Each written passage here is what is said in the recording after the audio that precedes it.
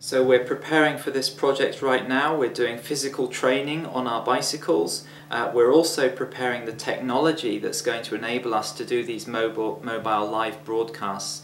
In addition to that, we're currently seeking funding as well.